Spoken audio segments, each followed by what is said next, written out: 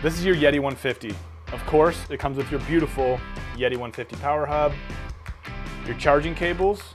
This one goes into your Yeti, this one goes into the wall, and this little guy is an adapter if you have any legacy Goal Zero solar panels.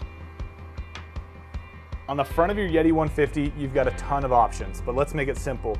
This one's for charging. Plug in your wall charger or your solar panel right into here. The green light will tell you if it's working.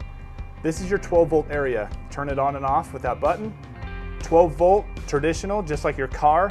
This is for Goal Zero lights and other accessories. USB, turn it on and off with this button.